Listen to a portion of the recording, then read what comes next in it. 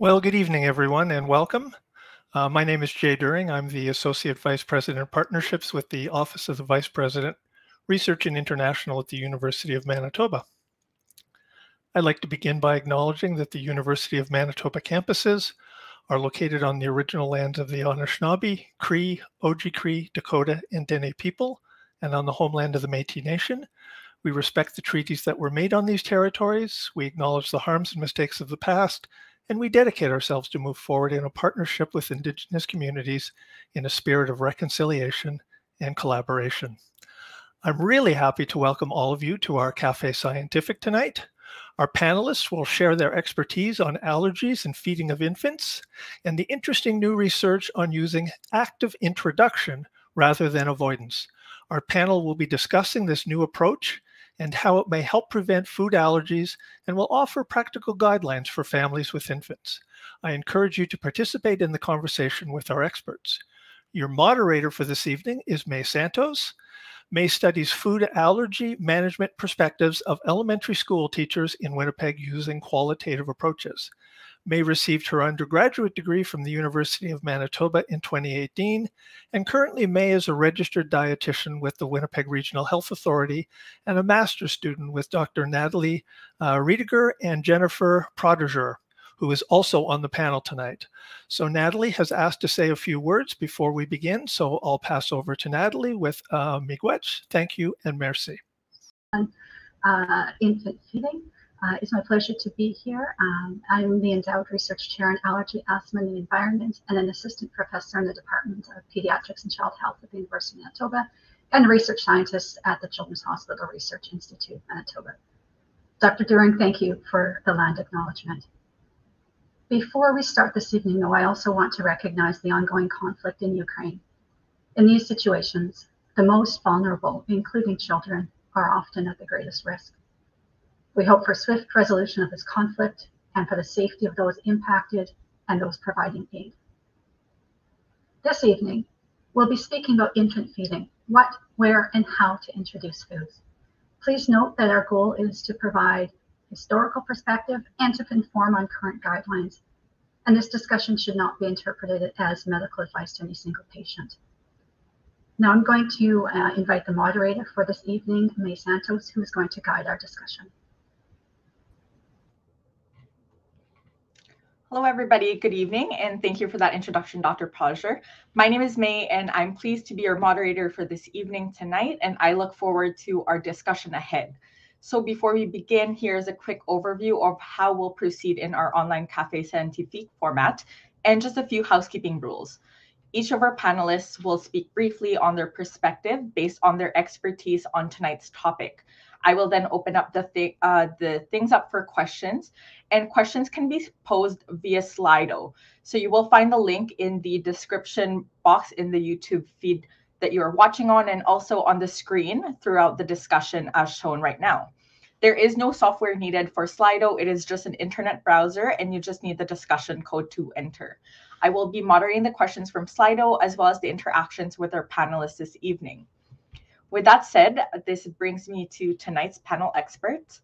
I am pleased to introduce Doctors Elana Lavine, Edmond Chan, and Jennifer Protudjer. Dr. Elana Lavine is a pediatric allergist and clinical immunologist practicing in Toronto and a staff physician at Humber River Hospital. She's also an assistant professor in the Department of Pediatrics at the University of Toronto and at Queen's University as an adjunct professor. She is also the current pediatric section advisor for the Canadian Society of Allergy and Clinical Immunology. Dr. Edmond Chan is the head of the Division of Allergy and Immunology in the Department of Pediatrics and clinical professor at the University of British Columbia. He sees patients in the allergy clinic at BC Children's Hospital, and he created the UBC Pediatric Clinical Immunology and Allergy Fellowship Training Program and was its first program director.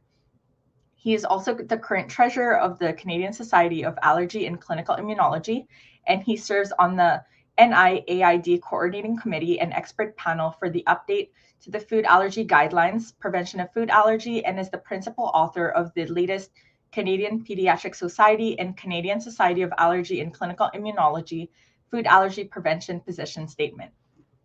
Lastly, but certainly not least, Dr. Jennifer Protudjer is the Endowed Research Chair in Allergy, Asthma, and the Environment and is an assistant professor in the Department of Pediatrics and Child Health at the University of Manitoba. She is also a research scientist at the Children's Hospital Research Institute of Manitoba and an epidemiologist with a clinical trials platform at the J- George and Fay Center for Healthcare Innovation. She also holds an adjunct professorship in the Department of Foods and Human Nutritional Sciences, University of Manitoba, and as an affiliated researcher at the Karolinska Institute in Stockholm, Sweden. She completed her postdoctoral training there. Her primary research interests include environmental risk factors for and societal consequences of allergic disease using both quantitative and qualitative methods. She is also the section head of Allied Health for the Canadian Society of Allergy and Clinical Immunology and a member of the steering committee for Canada's National Food Allergy Action Plan.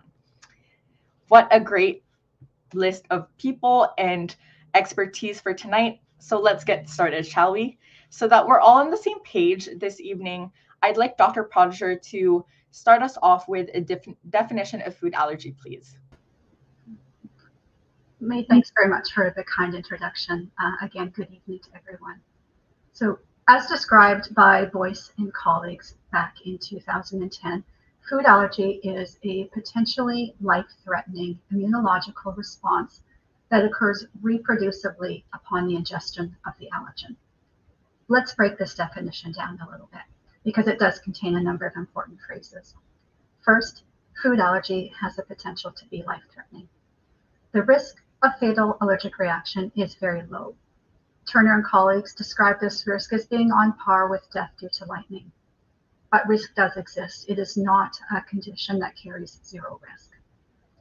Second, Food allergy involves an immune response by the body. It is not simply a matter of being a picky eater or being fussy. And then third, if someone is allergic to food and they eat that particular food, they will have a reaction each time they eat the food. There may be a few exceptions, such as when a person has some tolerance to, say, baked egg or baked milk, but they don't tolerate it in less cooked forms the other important point in this definition is that severity of the severity of one reaction doesn't predict the severity of another reaction. So if a person has a mild reaction one time, it doesn't guarantee that any future reactions will also be mild. Thank you for that definition, Dr. Protudjer. And I know that we know many children with food allergy do experience reactions. So can you share a little bit about what food allergy reactions might look like? So food allergic reactions typically occur very quickly after a person is exposed or they eat something to which they're allergic. And these reactions, again, they typically occur within minutes, but they may be slightly delayed. As I mentioned a few moments ago when I was defining food allergy, the symptoms and the severity of a reaction can differ each time. It's also really important to note that an allergic reaction can start off with a really mild symptom, but then get worse very quickly. So symptoms uh, that are specific to food allergy include a number of different systems within the body. The first system is the skin. Skin symptoms as they relate to food allergy would include things like hives or swelling of the face, the lips, or the tongue, as well as itching, warmth, or uh, redness. Another system is the gastrointestinal tract or, or stomach symptoms. And these would include things like nausea, pain, cramps, vomiting, or diarrhea. An additional system is uh, the airways or the respiratory system. And this may uh, present as difficulty breathing or, or wheeze. As well, the cardiovascular system may be involved, and this is when the person may uh, they may feel lightheaded, they may be paler than normal, they may have a weak pulse or, or other system or other symptoms rather. If two or more body systems are involved, this is uh, called anaphylaxis and it's a medical emergency and it would need to be treated with, with epinephrine. The challenge is identifying some of these symptoms in infants, as some of the symptoms that I've just described, particularly those milder symptoms, may often mimic symptoms of crying or just generally feeling unwell. And then babies up to about two years old, so that that infant range, those infants may have noticeable changes uh, in their crying, or they may drool uh, a lot more than normal, or they may spit up after feeding. Or these infants may just become more uh, upset, they may be more irritable or more sleepy, they may be difficult to wake up, or they just want to be comforted. Thank you for that. I think it's very important to be aware of food allergic reaction signs and symptoms um, and just have that in mind. Um, with that said, what do we currently know about the prevalence of food allergy in Canada? So the most recent data that we have available suggests that about 7% of children in Canada have food allergy. And this rate has remained relatively stable between 2010 and 2016. There are some allergies that are more common than others, uh, certainly that we see in Canada. Um, common allergies uh, are peanuts, just over 3% of the population, uh, tree nuts and eggs at about 2% each, and then milk at uh, just over 1%. But it's important to, to recognize that these rates may in fact change or differ by age in younger children and infants, milk and egg allergies tend to, to be more common. Some children may go on to experience tolerance as they get to, towards school age and beyond. Interesting. So, you know, milk, egg, peanuts, and tree nut allergies are often discussed, particularly amongst children. Um, but I'm wondering, can people be allergic to other foods as well? It's a really good question. And, the short answer is yes. People can be allergic to a variety of different foods.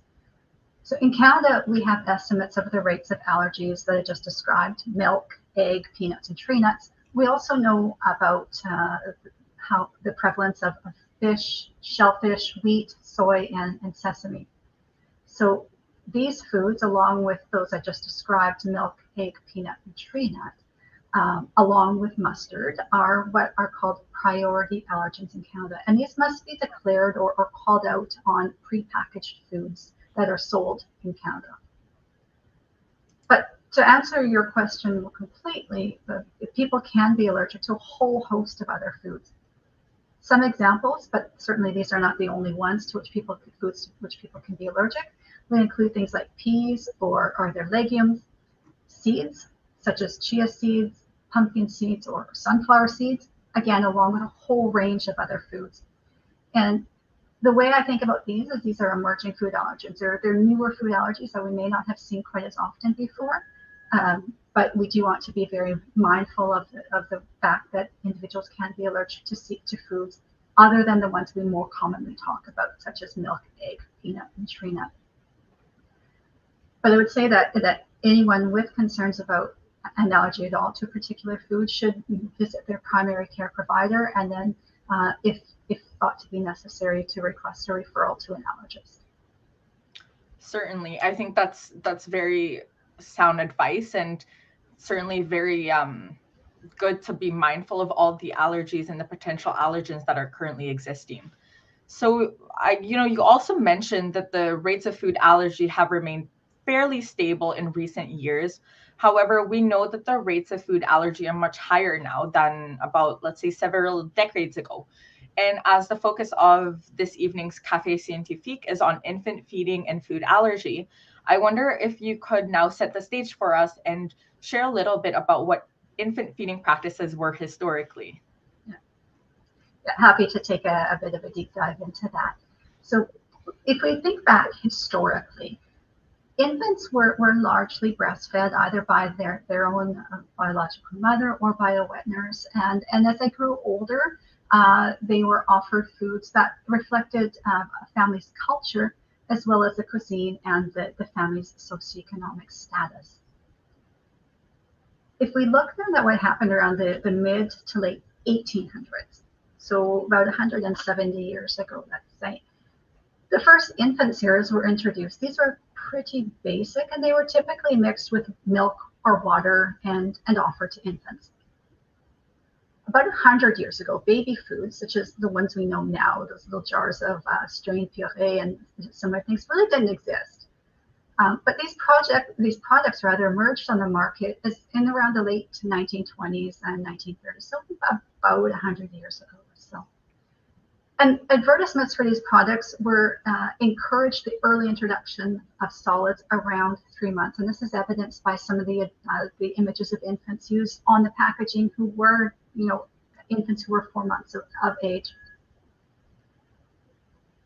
Moving then to the 1950s, infants as young as four to six weeks old were introduced to solid foods. Again, four to six weeks over the years uh, that followed, uh, there was a shift from really protein rich, high iron foods to sweeter uh, purees, such as things like uh, pureed fruit um, or, or, sweet potatoes, things that uh, an infant may find more palatable. Unfortunately, the shift to, to these sweeter products also took a shift a little bit away from uh, the volume of breast milk in an infant's diet. And then in the 1980s, some studies began to emerge that suggested that the avoidance of solid foods for infants up to six months of age may be protective against allergic disease, including food allergy. And again, this was a these were the data at the time. And I'll, uh, our next panelist is going to speak with about the current guidelines. So again, what I'm about to say is based on historical perspective. But as a result of some of these studies that came out suggesting avoid, many parents grew concerned that early introduction of, of any food before four months would, as Tarini and colleagues later described in 2006, and I'm quoting uh, what was current at the time, inevitably cause uh, their child to develop food, uh, an allergic condition. We of course know that this is is no longer true, uh, as I'm, the next panelists will speak to. But in that vein, attention also turns to the delay of allergenic foods for similar reasons. Awesome. Thank you for sharing that. And I think it's it's ultimately really important to understand the historical perspective just so then we can talk about current guidelines. So with that said, I would like to now invite Dr. Chan uh, to the stage so we can talk about the current guidelines and essentially how we got here. So I'd like to start you off with a kind of a harder question. Uh, if you can kindly explain to us what is the LEAP study? Yeah, so thank you for uh, the introduction and for inviting me to be a panelist. Uh, pleased to be a part of this. Uh, the LEAP study stands for Learning Early About Peanut Allergies, and it was a clinical trial uh, based out of the United Kingdom that was uh, recruiting patients between 2006 to 2009. It was uh, funded by a variety of uh, funding agencies uh, from the US and the UK, largely governmental agencies, uh, uh, for example, the NIH in the US uh, and the NHS in the UK. and the National Peanut Board was also a sponsor from the US. so, so that's really the, the what that study stands for. Awesome. Thank you for that. And so it's it seems like there is a lot of people behind the study. And so would you please explain to us how was this study designed and what were the study's main findings? Yeah, sure. So the study design took um, a randomized uh, trial approach, which is the strongest type of study, and recruited 640 infants at high risk of developing peanut allergy so these were infants who either had severe eczema, uh, also called atopic dermatitis, uh, or and or they had egg allergy. And these 640 infants were stratified into one group which received peanut early, starting between 4 to 11 months in non-choking form. And the other group, the control group, which was not uh, given peanut, and so they were the avoidance group. The group that was given peanut early between four to 11 months was instructed to keep giving it regularly. And this is very important, and I'll keep circling back to this concept. Uh, so they had to give two grams of peanut protein three times a week. And they had to do that for a duration of five years. And at the end of the five years of the original trial, both groups underwent uh, food challenges, peanut challenges. And um, the finding, the primary outcome was that the group that was introduced early and given peanut regularly three times a week had much less peanut allergy than the group that was avoiding peanut. Uh, there was roughly about an 81 or so percent relative reduction. Uh, so, for example, if you combine the skin test negative and the positive groups, you had the group avoiding peanut, uh, about 17% developed peanut allergy versus the group that was eating it regularly, only 3%. So, really, again, quite a dramatic reduction of uh, 81%. Uh, the study went on to do uh, what they called the Leap On study, where they had both groups um, avoid peanut for one year after the five years, and then they repeated the food challenges. And the worry was that the group that had been eating peanut for five years regularly, uh, if they stopped eating it for one year, the peanut allergy would actually surface. But thankfully, that didn't happen. And the Leap On study showed that even after uh, stopping peanut for a year, there was still protection from developing peanut allergy, and you still had uh, roughly 70 to 80% relative reduction for the group that was introduced early. The LEAP group of investigators have actually continued to follow these participants. So whenever you have a well-studied uh, uh, trial group of participants, it's ideal to continue to follow them long term. And what they're now doing is doing what they call the LEAP trio study, which is where they not only continue to follow the uh, uh, participants of the original LEAP trial, but they also look at their siblings, their younger siblings, and look at the younger siblings who are raised in a quote unquote high peanut environment where their older siblings are eating, eating peanut regularly all the time and compare them to the younger siblings that grew up in a low peanut environment where those participants were told to avoid peanut. Uh, and it is going to uh, be uh, released relatively soon. This past week at the American Academy of Allergy, Asthma, Immunology meeting, uh, one of the lead investigators, Dr. George Du Toit, had updated um, the attendees that the LEAP trio results will hopefully be published in the next year or two. So that will uh, result in an extra seven years of follow up for the uh, participants. Um, there are a whole host of other studies that have emanated from the LEAP study, looking at uh, various uh, immune markers, looking at nutritional aspects, looking at novel uh, investigations of uh, food allergy. Um, and, and so it's been really a, a pivotal uh, study. Uh, the world, you know, around that time when people were thinking that, that what Dr. Jennifer, Dr. Protudjer was describing with the avoidance, when people were questioning that, uh, there was uh, about you know eight years or so where the world was you know really eagerly anticipating the results of the LEAP study, which was um, published in 2015. Yeah, that's that's amazing, and thank you so much for that very great um, description of the study, and it really broke it down to its core. And certainly, I think we're all waiting for the for the LEAP trio to come out. Um, but just going back to the original LEAP study, what happened when these findings were published? Yeah. So, you know, to answer that, I'll just take everyone through a, a little bit of walk through history of my involvement with the uh, food allergy prevention um, uh, implementation in Canada. And so I um, became the uh, pediatric section head of the Canadian Society in 2010. And that's the role that our, our next panelist, Dr. Lavine, uh, currently has.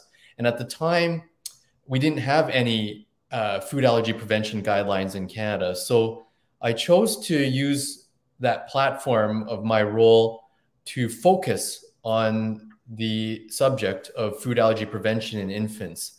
And in 2013, after several years of gathering stakeholders together, uh, we published the first ever Canadian position statement for food allergy prevention during infancy. And at that time, the LEAP study had not been published yet. It was about to be published, and we were in that eagerly anticipating phase. Uh, but the most that we could do in our position statement was say that the literature at that moment suggested that we shouldn't uh, unnecessarily delay introduction of allergenic foods beyond six months, but we couldn't give parents a very active recommendation that they should introduce early. And that was because the LEAP study hadn't been published yet.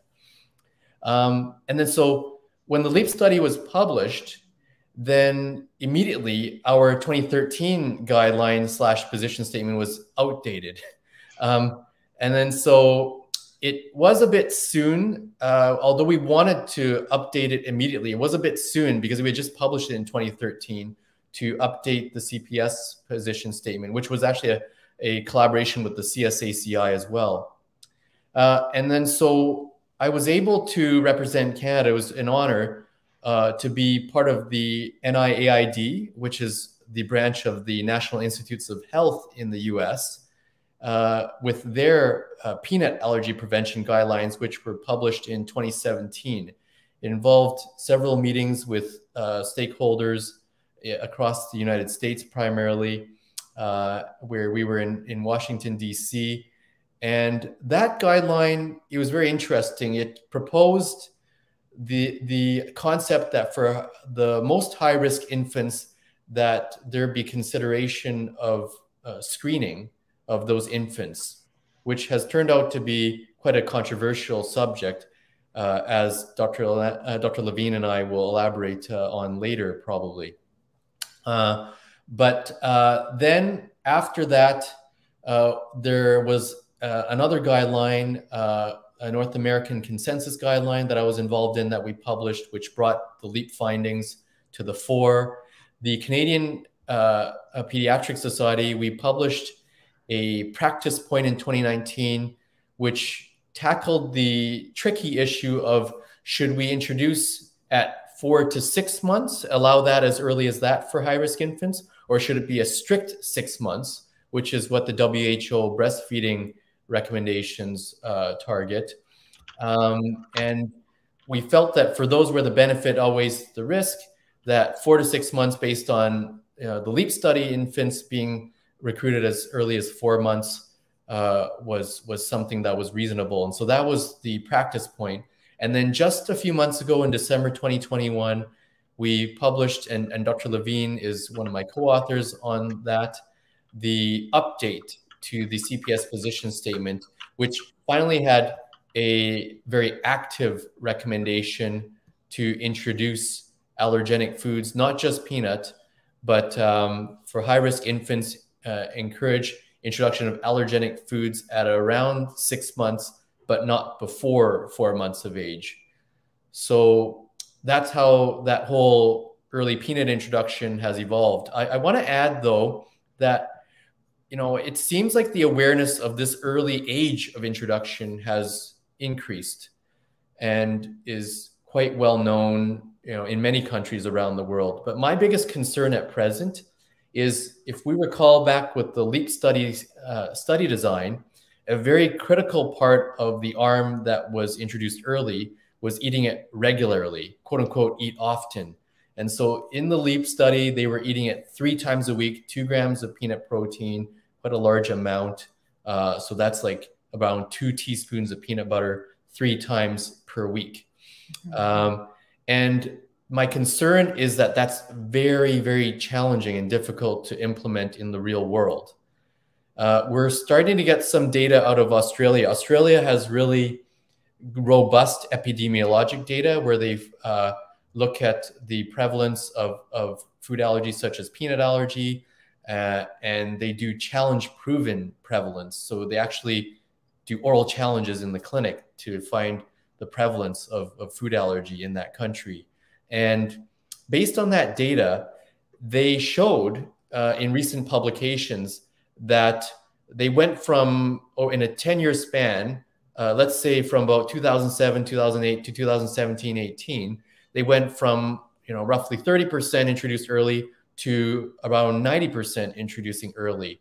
However, they showed some data last year that the prevalence of peanut allergy didn't really change. So it was still roughly 3%, uh, you know, whether it was 2007 or 2017. And so already it had some of us question, is the early introduction truly helping or not? So, you know, you could look at glass half full and say that it's at least prevented the prevalence from going to 4%, from 5% to 6%. But at the same time, if it's still roughly 3%, the early introduction hasn't really decreased. The other thing is just hot off the press is uh, Australia has published uh, anaphylaxis uh, admission rates to hospital uh, for food allergy. And similar story. Um, the anaphylaxis admission rates, for example, for one to four year olds continues to increase over three time periods over a couple of decades that they studied. And although, again, you could have a glass half full view, which is that the rate of increase of hospital admissions has slowed, you know, at the end of the day, the hospital admissions are still increasing. And so, again, my hypothesis for explaining both of these phenomena in Australia is that it's not enough to simply introduce early. And as you know, um, those who are passionate about this around the world, we really have to, you know, brainstorm how are we going to get families to eat often, uh, three times per week, you know, in decent amounts, uh, for example, and do that for roughly five years. Um, we don't know because the LEAP study did five consecutive years of that degree of regularity. We don't know if it's okay for infants to eat for one year, for two years, or for three years duration, and then sort of develop interest in other foods and forget peanut. We, we don't know that. And, and so the same logic uh, seems to apply for tree nuts, for sesame, uh, for other allergenic foods. And so I'll, leave it at that as uh, there's certainly a lot of hope with uh, primary prevention, but there is still some concern right now uh, that that I have about regularity. Sure, and thank you so much for sharing that. And it's I think it's very useful and very interesting to kind of know the historical back like the back the backstage uh, work that has gone into the current recommendations and it leaves me a really good segue to thank dr chan for his uh, for his little chat and to introduce dr lavine who is our next panelist and she is going to be talking about the current recommendations, um, which is ex- almost exclusively, but not just in Canada. Um, and so, I guess my first question, uh, with you being a pediatric allergist, you know, there's been a huge shift, uh, like we've previously talked about, from this like avoid, avoid, avoid mindset, and now we are introducing early. So, as a working clinician allergist, can you tell us a little bit of what it was like trying to share this new message to your families? Hi, Mae. Thanks so much for having me. Um, you know, I think in any profession, there are conversations that you have so often that you can almost have them in your sleep. So, one of the conversations that has just become a daily event for me with families is explaining that this sort of well entrenched belief that they have that there's any kind of protective benefit to delaying solids is both outdated and actually carries risk. And it's a bit of a paradigm shift. I mean, not even a bit, it's a huge paradigm shift because a lot of the families that we meet as allergists are first time parents. So they're basically following guidance from grandparents or from older members of their family as they try to decide what to feed babies. Um, and it's all very new. So the conversation that happens over and over and over again is the explanation to families in the simplest possible way that not introducing priority allergens to young babies actually carries risk. It's not a benign intervention. It, it's it's not a not doing something, and that delay itself carries risk. I probably said that three times today in my clinic. Um, so it's been interesting, and yet I have to remind myself on a regular basis that what is very logical and um, you know well researched to me like edmond explained and like jennifer went into in terms of the background for this um, it's not that logical for families. It might seem shocking to them to give such a young baby, even less than six months, the things that they have been led to believe carry the highest risk for allergic reactions and anaphylaxis. Um, and it's a lot of responsibility for parents to take that upon themselves. Sure. Thank you. And thank you for sharing that. I can imagine that, you know, this being a large part of your work, certainly you have to talk to a lot of families and kind of explain this spiel over and over, but in definitely in a way that families can understand and kind of take that into their everyday life. Now, my next question kind of relates to something actually that Dr. Chan pointed out, but if you can kindly uh, talk about what classifies an infant as being at risk for food allergy. Yeah, that's that's such an important question because there actually is no consensus on that.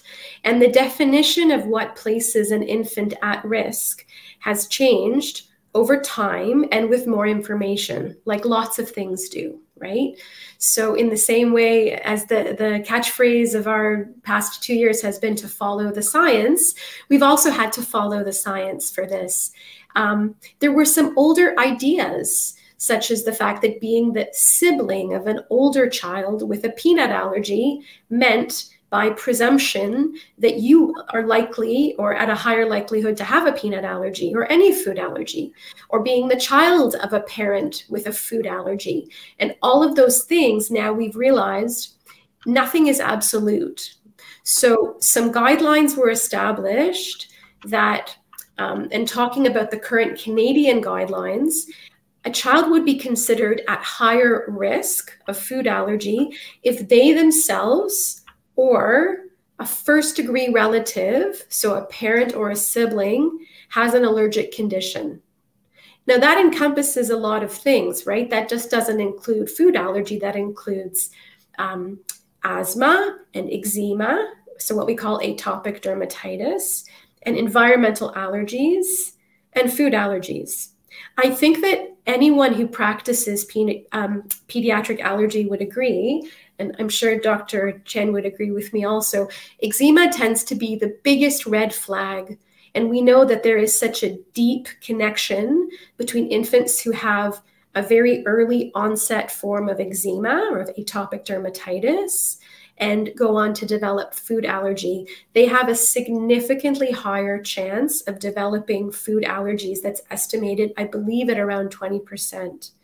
Having a first degree relative with an allergic condition also officially is considered to be a risk factor, but it's not specific to having an older sibling, let's say, with a peanut allergy. And in fact, as someone I think mentioned, one of the things that most concerns us is that by virtue of that assumption, let's say an older brother has a peanut allergy and a younger sister is born, that that will delay the younger sister's introduction to peanut and actually increase her chances of developing that peanut allergy. So again, indirectly, because of that association that we're somehow, um, that families might add to that second child's risk. Right. And thank you for clarifying, you know, the, the, um, the risk and I think with that said, my next question kind of is more of a practical standpoint. So, and I'm not, and you know, you might have said this today in clinic already, but so what kind of advice do you have then for parents who might be nervous about introducing potential allergens at home, especially, you know, given if they have a familiar familial risk? So, I remind parents that, you know, in Canada, our guidelines have um, come out very, very strongly in support of early introduction and also removing what I'll call delays from that introduction. So in Canada, uh, we are not proponents of screening infants with skin testing or with blood testing. We believe that kids should have almost universal early introduction to the priority allergens um, at a very critical time in their development. So really for babies who are at higher risk, at high risk, as early as they can start solids within a short period of time and after taking some other foods to teach parents how to feed their kids, to watch their behaviors as they feed. So babies might smack their lips or move their eyes around or make sounds or push their tongues out. But as they get used to eating, that in short order, we give them those priority allergens early. And the strongest evidence supports doing that for peanut and for egg. But by extrapolation, we think that it's important to get all priority allergens in early and often. So I'm a bit of a broken record at work because I don't want any family perceiving their own baby's personal risk as being so high that it somehow thwarts their efforts to take advantage of what we know, which is that we can minimize that risk by giving the baby a chance at early introduction. And there's almost no deal breaker to that. So the child may have older siblings, you know, with uh, specific food allergies. They may have a parent with specific food allergies. The baby may have significant atopic dermatitis or eczema. Despite all of that, the best chance that the baby has at developing tolerance to these foods, some of which can cause allergens, sorry, allergies that can persist out of childhood, um, is to introduce it early. And I tell my, my patients' parents that this is like a sliding door. So you don't just stick your arm in it and it opens and then you retreat and say, okay, the door is open. You have to keep going back and sticking a limb in the door if it's actually something that you want to stay open. So it's a bit of a silly analogy, but the door will close. The tolerance has to be kind of exercised before it becomes um, sustained or, or we hope permanent. So there's a lot of hand holding in the first few months, especially if babies do have an allergic reaction to one food, because it's not a house of cards that will crumble. And many families, if their baby, let's say, reacts to peanut, might then be worried about continuing tree nuts or continuing fish or introducing egg or introducing dairy products. So I, there's, there's a lot of differentiation in the clinic explaining that just because a baby has had an allergic reaction to one food, we don't want to thwart the process that's going on nicely with the other foods. So uh, hopefully parents take all of that to mind and are a little bit um, brave and optimistic and realize that serious anaphylactic reactions in babies when they first start solids are actually quite rare and are lower than they are in children who have delayed introduction of those solids. Awesome. Thank you. And and I think certainly the the repetition of, you know, introduce early and introduce often is something more of a theme that we've been hearing tonight and I think we are going to keep discussing over. Um, and so thank you, Dr. Lavine, for your for your very kind um, input.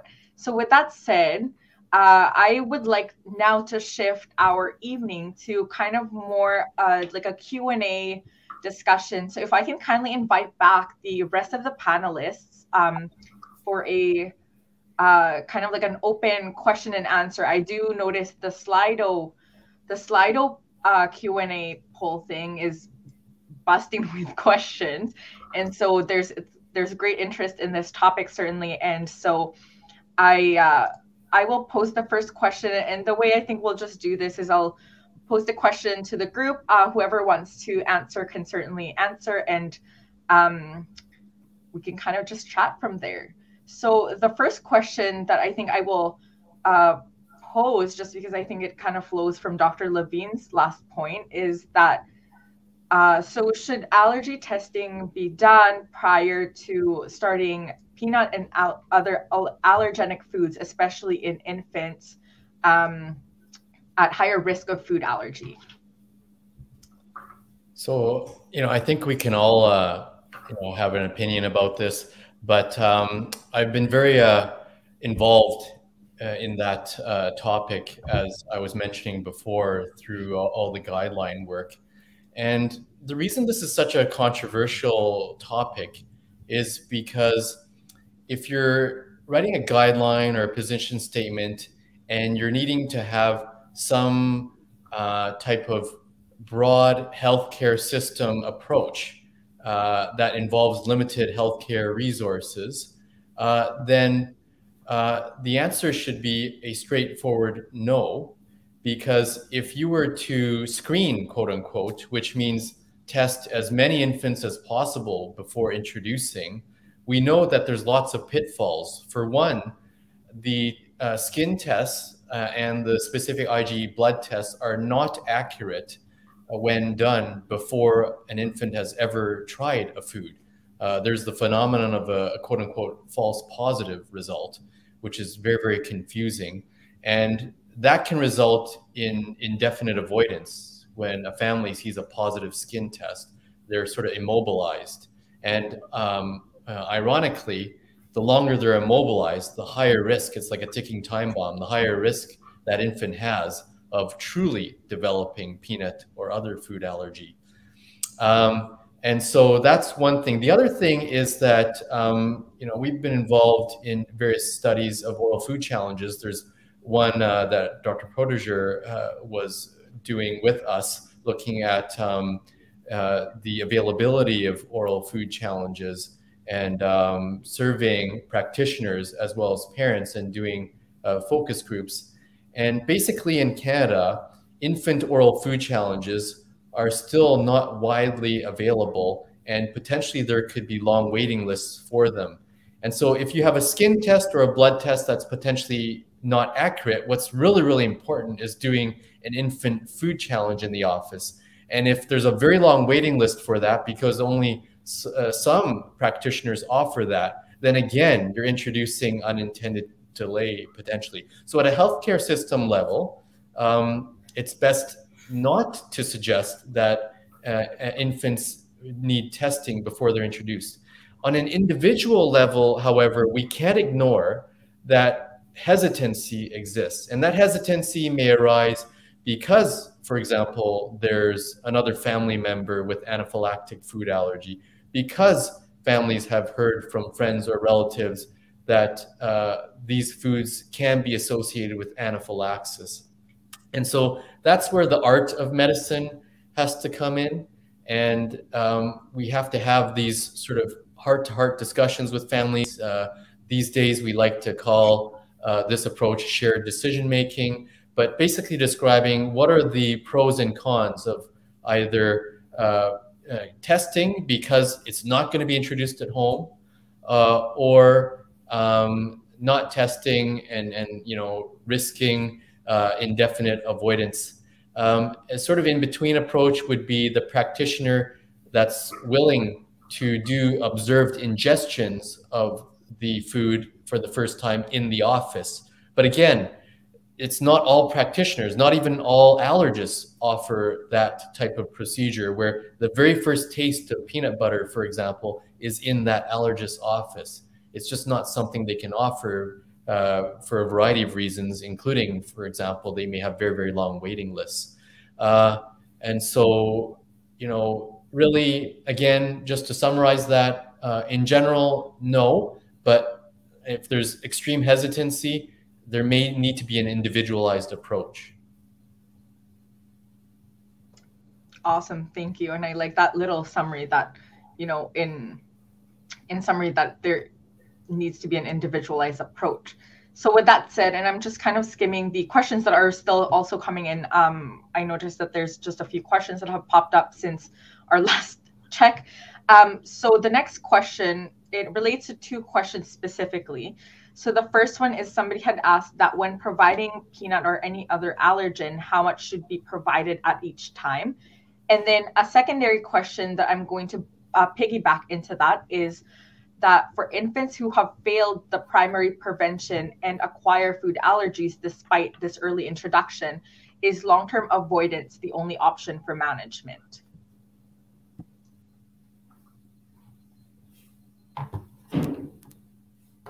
Maybe, maybe I don't know, Dr. Lavine. Do you want to answer the amount one, and then I'll tackle the the other uh, sure. options.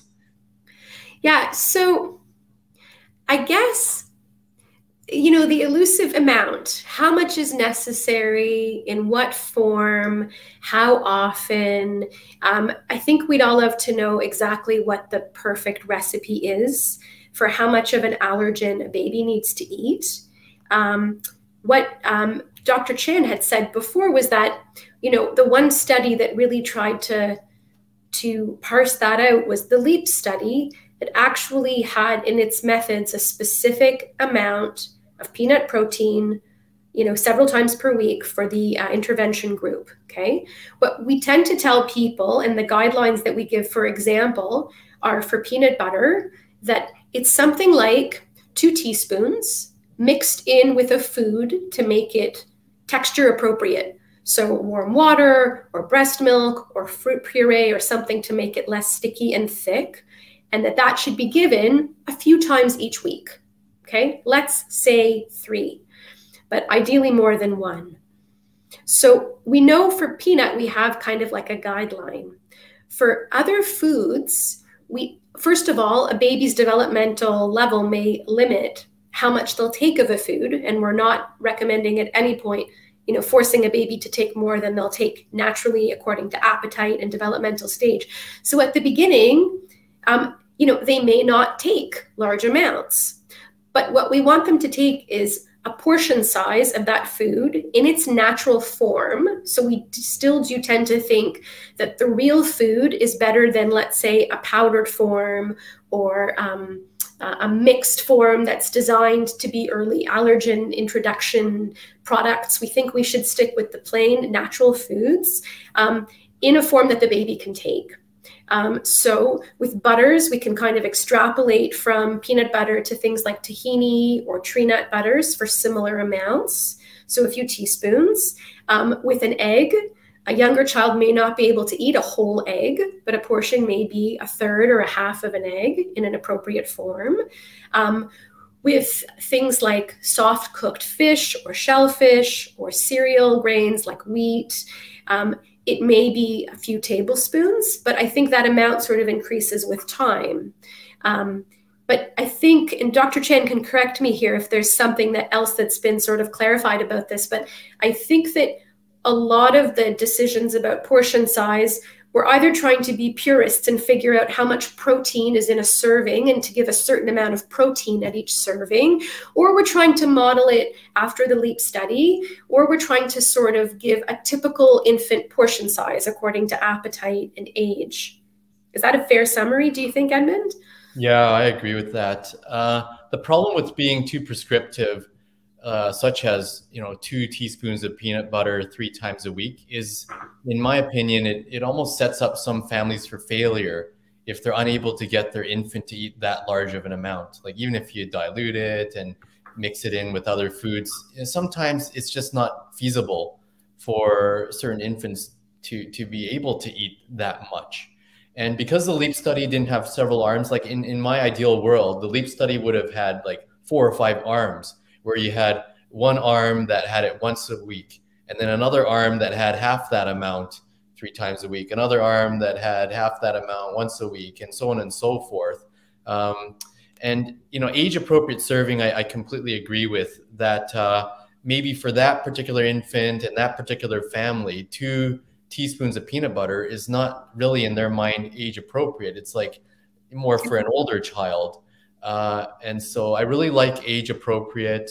I really like weekly, you know, for the families that find three times a week hard for every single allergenic food, because you can imagine, you know, if, if we're just thinking peanut, it might not be that difficult. But if we're thinking peanut, at least four different non choking tree nuts, sesame, uh, egg, and dairy, and fish, and shellfish, to do each of those in two gram protein amounts three times a week ends up being a lot of allergenic foods and a lot of labor um, potentially.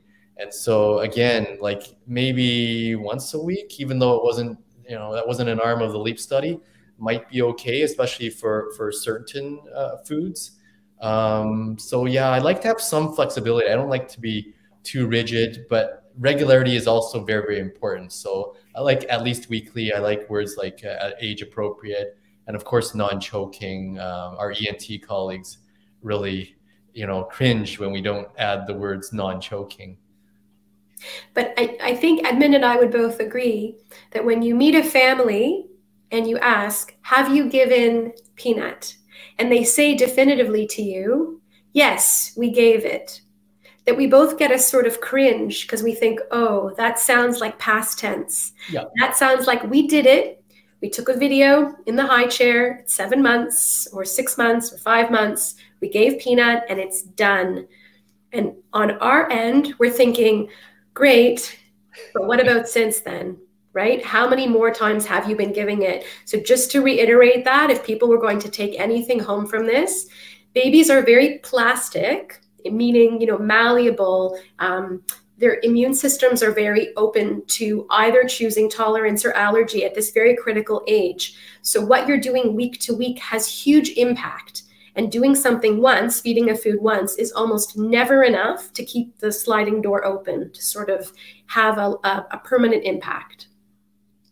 Yeah, it, it's really quite extraordinary that, you know, the LEAP investigators were already, you know, that concerned about that aspect that they designed in the three times a week, not just for a couple years, but for five long years. So, you know, parents uh, really need to receive a lot of education with, with respect to this. And it doesn't have to be a burden. You know, it, it can be, again, using it, those nice words that we just talked about, and then maybe, you know, being more creative, like using a, a food processor or a blender and, and just mixing it all together uh, into a, a, nice smoothie or, or some type of nice uh, baby food.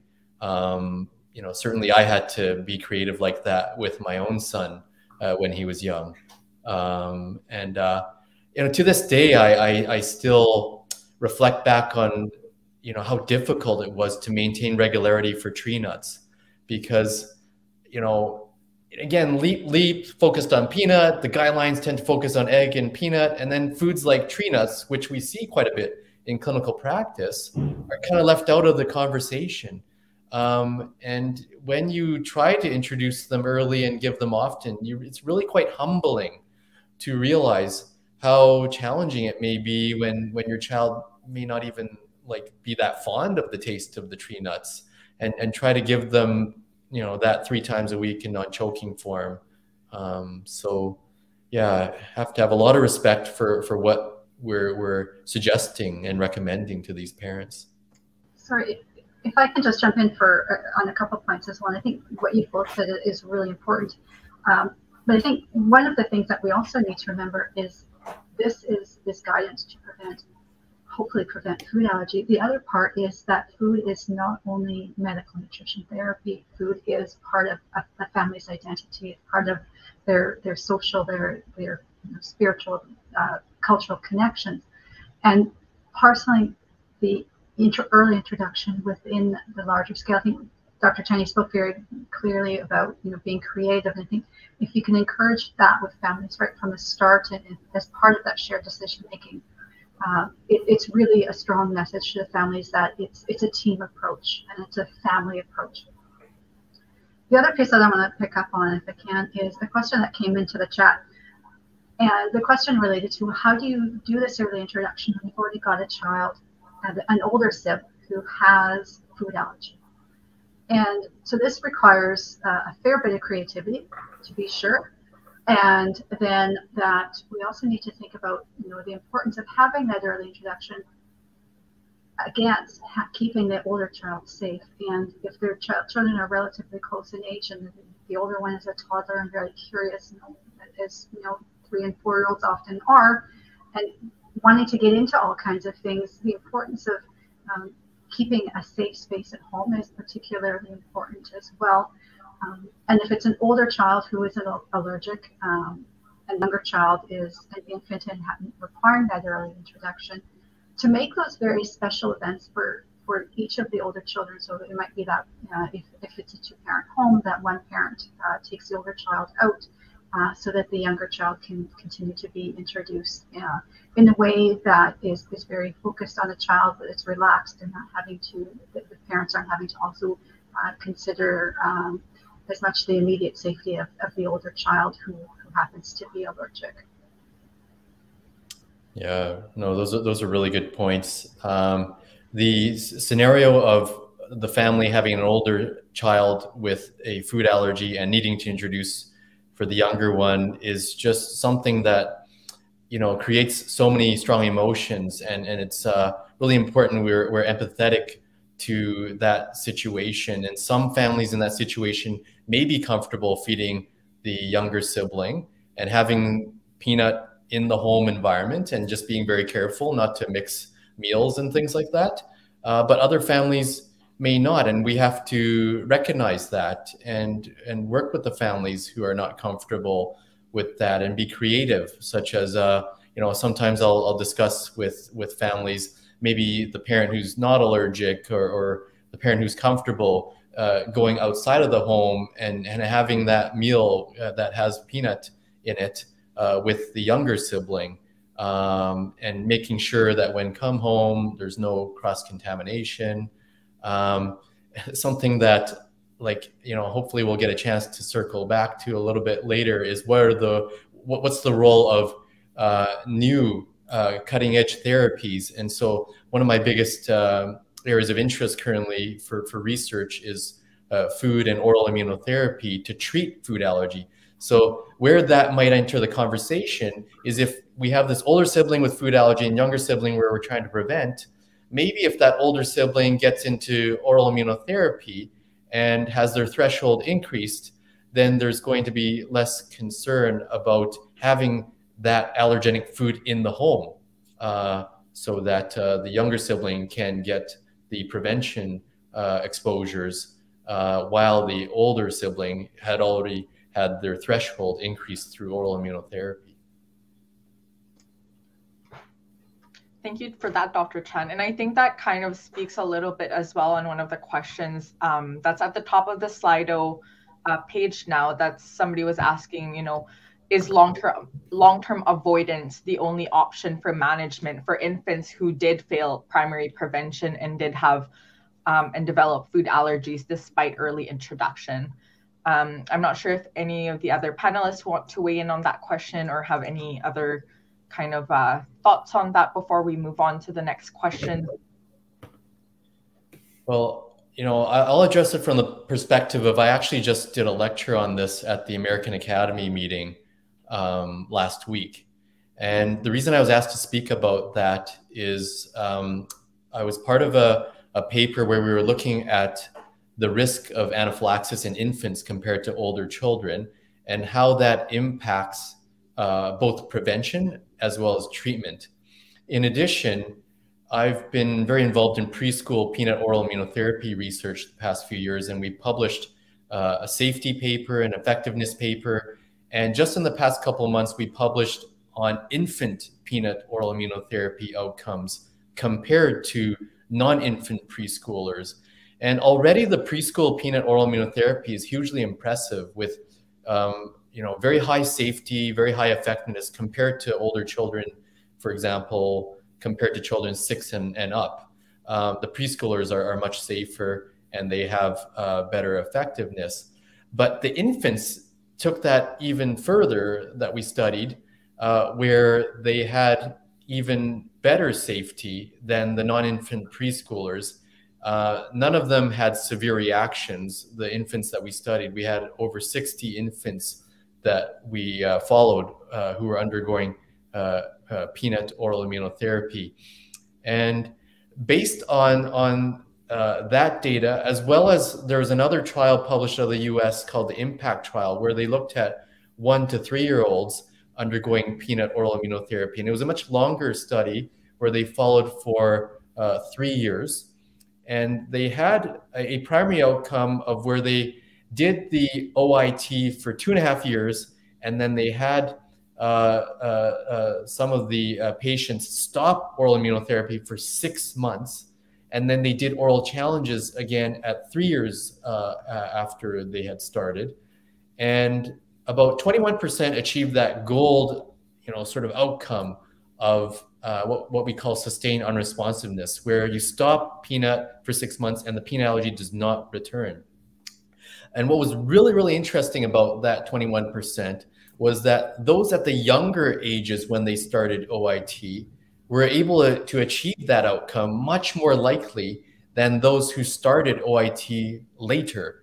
And so again, it, it suggested that um, the window of opportunity for optimal achievement of what we call tolerance, where the peanut allergy doesn't come back, is best uh, achieved when you start it early. And that's in, in concert, uh, in congruence with the findings of our study on infant OIT.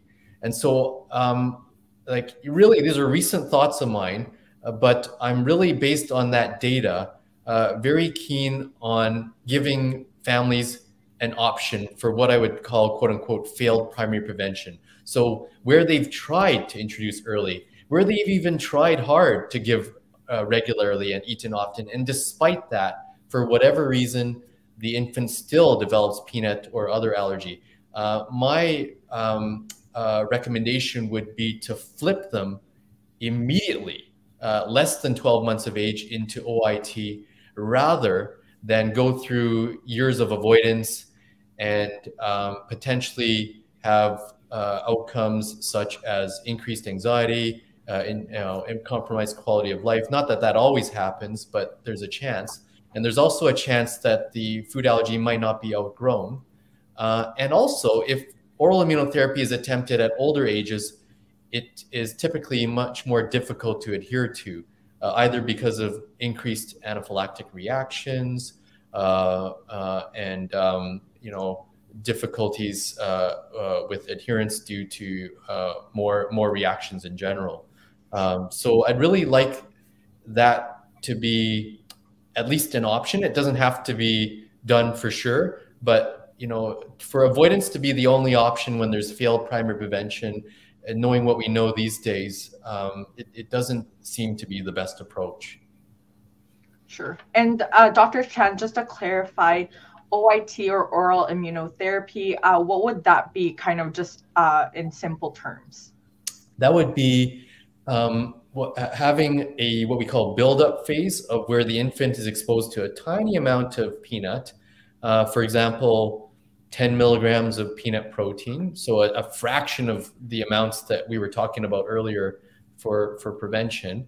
And, and doing that with a physician, with an allergist, uh, and um, doing that in the office, and then in between visits, doing that same amount at home. And then every time the amount is increased, doing that with the uh, allergist.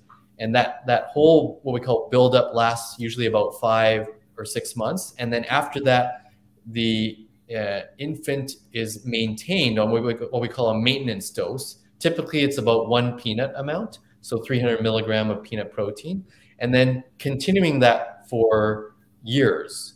Uh, and, and so it's the same, you know, discussion of how many years, the same discussion we just had for prevention. The LEAP study did five years, and we don't really know for OIT how many years it takes for the peanut allergy to not come back. I just uh, described that American study where they did two and a half years of OIT and then six months of no peanut, and then they uh, tried peanut again. And so that study uh, two and a half years. Uh, but um, you know that's sort of the process of OIT in a nutshell. Awesome. Thank you for that. Um, and I do see that there are more questions coming in into Slido, which is awesome. There's definitely a lot of questions about this topic. So I, you know, I am weary about the time. We are taking our last question at 8:25 this evening. However, uh, one of the questions um, is asking, uh, did we talk about that mustard was an allergen, which I believe was kind of referring to what Dr. Protudjer might have touched on when she was speaking um, so if you can kindly just confirm that question. Thanks very much. So mustard is one of the priority allergens in Canada. Uh, in Canada, there are uh, 10 foods that are priority allergens, and so mustard is one. The, the complete list is then milk, eggs, peanuts, all tree nuts, fish, uh, shellfish, uh, so crustaceans and mollusks, fish, shellfish, soy, soy, wheat, mustard, and sesame. So those foods in Canada need to be called out on labels uh, anything on any food that's prepackaged. And they need also to be uh, called out on food labels if it's an ingredient within an ingredient. So if it's, you know, say for example, mustard within pepperoni or soy within pepperoni that's on a pizza, that would need to be called out. Um, but that rule doesn't apply for uh, foods that are non-priority allergens. Sure, thank you. Um, and I think just in touching with the non-priority allergens, there is another question kind of relating to that. And so somebody had asked for non quote, quote unquote allergen foods or spices, is it still recommended to wait a certain amount of time in between introduction of each new item? Hmm. So I can speak to that. Um, the answer is no. Um, and moreover, there's risk in having your your child. Um, you know, there is this handout that I've seen in pediatric offices, which talks about spending three days on each vegetable. And it used to be you start with a certain color of vegetable, and then and then you go to fruits because the child might like the taste of the fruits too much, and thus refuse the vegetables. And only then would you progress to other foods. And the allergens were sort of delayed and delayed. So you can imagine if everything takes a few days that quickly days turn into weeks and weeks turn into months. And we don't have early introduction of the things that we're trying the most to get in early to prevent allergy. So the answer is no. For foods that are very unlikely to cause allergic reactions which covers i would say most or all um, most or all fruits, vegetables, meats, um, for most infants, legumes, um, grains, you know, and I know that allergies exist to selected fruits or rarely vegetables or grains, but for the most part, those things should be introduced expediently, you know, uh, quickly, efficiently, given, and if everything seems fine, keep going. So we don't want to be in a holding pattern for X number of days. For some reason, it always seems to be, you know, three or seven. So I joke it's either biblical or it's somehow, you know, encrypted. These numbers have been passed down from older family members, but no, there really isn't. For allergens, for allergens, we want people to introduce them um, on their own, meaning you know, pad thai would not be an ideal first food for a baby because in that we have possibly shrimp and possibly peanut and possibly uh, wheat noodles um, and possibly fish sauce. Um, so that's very confusing. We want to keep the experiment simple so, so that it's easy for parents to know what's causing a reaction.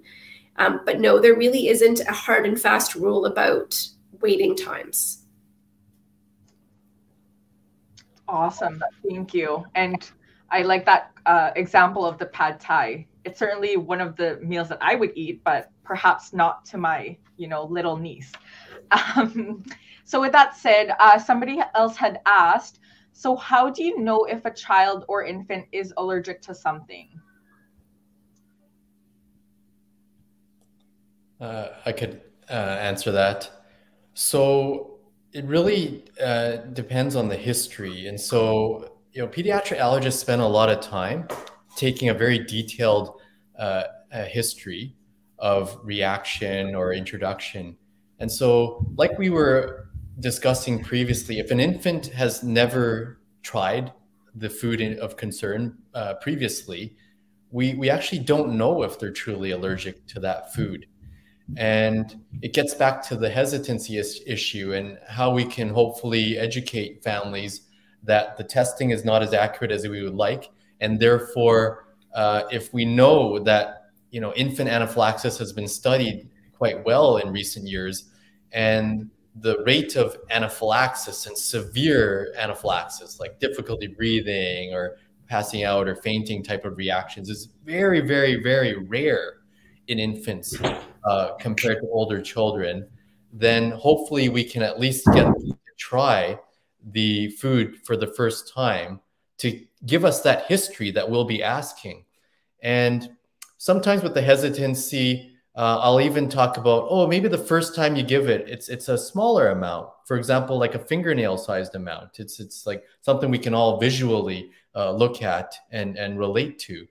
Um, and then so if the infant has that first trial, then we can ask more questions. Then we can ask, oh, um, so let's say nothing happened, then that would be easy. But if something happened, if there was a rash, as a very common sign that uh, parents might describe, then we can ask further details.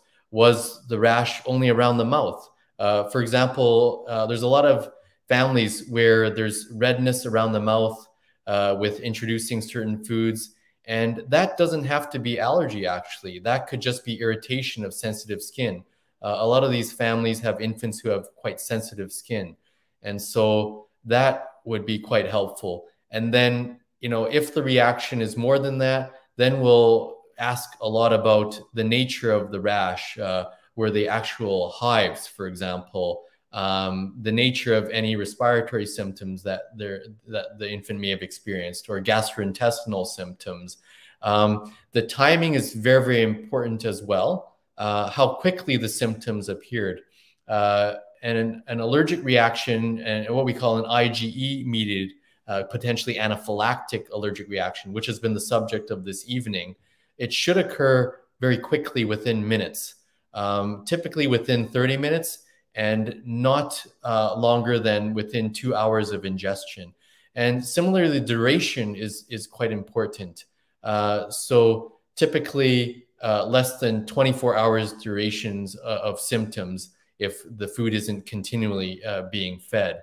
And, and the history where a parent might say, oh, you know, my child had rash for, for seven days after I tried X food. No, we wouldn't be thinking that's a, a, a an immediate type food allergy. Uh, and so really it's, it's, it's, you know, being able to generate those types of details through uh, a history of ingestion. Great, thank you. And I think it, it really speaks to the importance of having, you know, uh, a good sense of the history of the child and and it's very individualized if if uh, that's what I'm getting correctly. It really depends on the child and and uh, their personal uh, signs and symptoms if they were to have an allergic reaction. Um, with that said, the next question I think that is the most relate, uh, related is Somebody now asks if peanuts have been tolerated for one to two weeks, what are the chances the child would react during week three or four of introduction?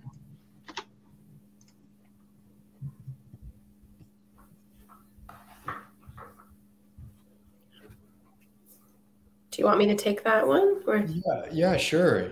Oh, I mean, we could both uh, give our take, but go ahead. Yeah. Sure. So there are some older studies that looked at when you know peanut allergic reactions, in particular, were likely to happen. It, it, it tends to be overwhelmingly in the first few times that it's given, and I think we can extrapolate that for the most part to to other allergens too. But there are some important exceptions. If you give it in the first two weeks, and it's fine. I mean, I'll, I'll, assume that um, a child had eaten it a few times in those first two weeks.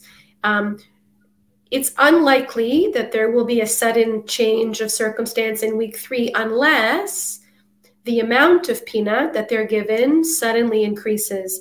So sometimes those first few givings are really tiny. You know, they're almost, you know, homeopathic.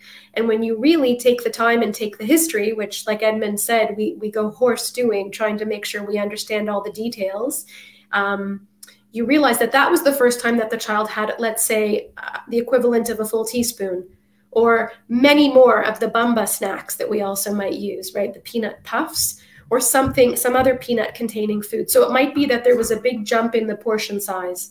But assuming that they had been having either the same amount um, and there was no big change there, um, or there wasn't a big interruption, which in theory can't happen in a in a week. It, it's sort of at the very very extreme end of how long it might take um, a child's sort of immune system to forget a food. And by extreme end, I mean it's hard to imagine that you could have such a, an abrupt change from one Wednesday, let's say, to the next. So it's usually more in the range of, of months and sometimes weeks that it would take for for there to be a sudden abrupt change. I don't mean to make up numbers or patterns here but i guess the short answer is that if it's been okay in the first two weeks and you continue doing what you're doing with even more with a gradual increase of the amount that we would hope that everything stays copacetic and the child is fine with that food. If it's stopped abruptly and you don't give it for three months and then circle back to it, I would say all bets are off. And we actually don't know if that um, evolving tolerance will have been um, continued. Yeah, no, I, I fully agree. Like, uh, you know, the concept of uh, uh, allergen thresholds is something that comes to mind with the question like that. Um, so just like what Dr. Lavine was saying, like if the first few amounts were very small, meaning they were below that particular uh, individual's uh, reaction threshold, if they had the food allergy already, then uh, you may not see any symptoms. And, and so there's been these studies done where, for example, uh, let's say with peanut, 20% uh, of peanut allergic patients would react at 100 milligram protein. So if you're giving less than that, then they're just not going to react. Um, the other thing that comes to mind is where we're starting to get a little bit uncomfortable with how long it's been since the last uh, ingestion. And so to take that, you know, question to an extreme, let's say, you know, the, the peanut was given in week one, and then there was a three week gap uh, and it wasn't given again. Uh, so, you know, although it's not very highly likely in those three weeks that uh, the child could go from no not allergic to allergic it's not impossible if you think again about the leap study how they needed those infants to eat peanut three times a week. And uh, having a two or three week gap is not following that protocol.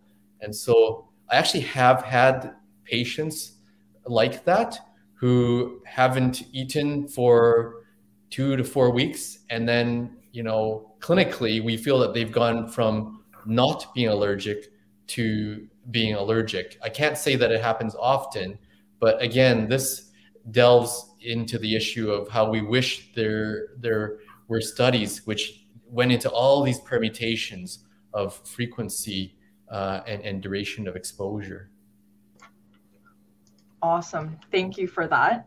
And I am just being mindful of the time. We have approximately five minutes left, and I still see questions coming in.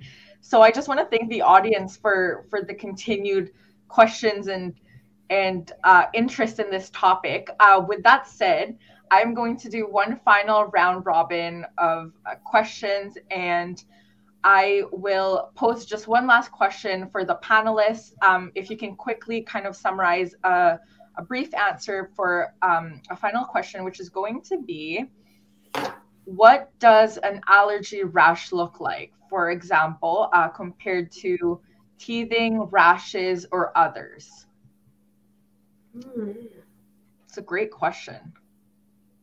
It's really good. I, I, I think what we need to do is to distinguish between eczema or atopic dermatitis um, and hives slash urticaria because those are the two most common rashes that we have to discuss. Like like Dr. Lavine was saying, if we're in clinic, it's almost like you know, we go hoarse discussing those two rashes. And one basically, it's been confusing over the years because like you know families get them mixed up. Uh, but according to latest research and our current knowledge, one increases the risk of an infant developing a food allergy, and the other is the manifestation of uh, potential manifestation of the food allergy. So, um, eczema is what increases an infant's risk, and that's a, a rough, sort of uh, sandpapery type of rash over typical areas like the face and, and the elbows and, and the knees. Typically for infants, the uh, outer aspect of the elbows uh, and the knees um, it could be quite widespread as well. It's extremely itchy and it's chronic, meaning that it tends to stay there for days and for weeks uh, and, and just keeps persisting until there's some type of intervention or the child gets much older. Um, and, and so that's putting the infant at risk. It's a skin barrier defect, there's genetics involved. Um, it's, it's an underlying common element for children who are at risk of allergy. But when we talk about trying peanut uh, and then developing a rash, that's those are the hives, which are the bumps that kind of look like mosquito bites. They're raised. Uh, they can be blotchy, different shapes and sizes. They're also very, very itchy. Um, and those, while you know, when when a child eats the food, they could be on the face, it could be on the neck and chest. They could also go to other areas. But unlike the eczema, these uh, come on quickly and they go away relatively quickly. Uh, typically, a few hours duration, uh, no longer than uh, 24 hours. Um, but you know, I, am sure this is something you you can uh, you know describe as well, Dr. Lavine. How how often families get these two rashes mixed up, and they they sort of say that the eczema is caused by a food allergy by eating a food. Yeah, and I think I think you said it. The the timing is everything. So sometimes I'll clarify that that hives aren't really a rash per se. It's more like a weather system moving through. So there's something called histamine released, right? You know, we all take antihistamines. So histamine is one of the key chemicals that the body uses to signal itself, hey, it's time to use the allergic immune system. And when that histamine is released into the skin, you get these mosquito bite looking welt things along with a lot of flushing and redness. But fast forward a few hours, or sometimes in some situations with antihistamines, which are not the first choice treatment for food allergic reactions, but might be used sometimes for rashes like that, it's gone. And there should be nothing left on the skin except maybe scratch marks. But eczema is days, weeks, months. Eczema is chronic. Eczema has moved in. The skin architecture has changed. The topography has changed. You can feel it with your eyes closed. And it's extremely chronic. And that's the biggest difference. Diaper rash is not an allergic rash. Um, rashes that are caused by viruses can be confusing, but they're generally not allergic rashes, even though they can sometimes hijack that part of the immune system too. But I think that just to emphasize, it, the timing is such a huge key in differentiating what's an allergic rash and what's not. Yeah, precisely. And and you know this uh, does a food cause eczema? It's a whole different lecture and, and Cafe Scientifique in itself. Yes. It's such a complicated topic because there's been a rocky history with it. But the simple takeaway from tonight is no, food does not cause eczema because if it did, then the whole, you know, Cafe Scientifique from this evening, we'd throw it out the window because like then how would we ever get early introduction? Because a lot of these infants have eczema as a risk factor. How before, we, yeah, and before they've started to eat. Yes, exactly. Uh, but we would, we would not be able to implement uh, early introduction if, if these foods caused eczema. Absolutely. I think we can certainly agree that we can spend another cafe talking about just eczema and an early introduction.